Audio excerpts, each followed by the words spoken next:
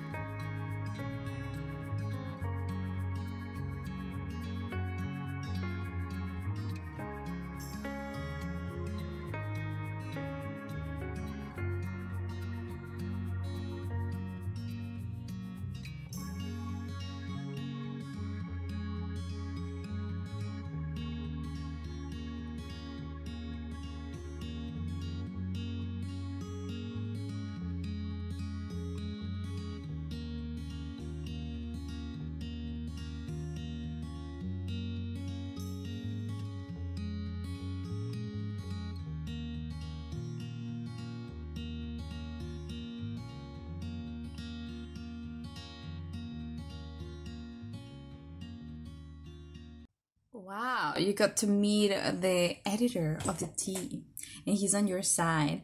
Your little group is actually getting pretty big. But there's a thing, like, people talk about how Eileen is nice to other people, and that's what they want us to believe, but this Eileen anyway. But the way she thinks about others sometimes is like so bad. Like, she doesn't care unless they they're like rich. And she makes comments about the way they look and like the money they have. She's just oh my gosh she's just getting just as bad as poppy. Yeah this is going to become more what else happened? Oh yeah more sexy time with the professor. Got rescued from, from that creep creep he is really weird. I was thinking about the the show and the book You when this was happening because it definitely reminded me of it. I only watched like the first episode or or two of that series because it just made me very uncomfortable. I just couldn't keep doing it. Okay, beautiful people, that's it for this video. I hope you enjoyed it and I'll see you in the next one.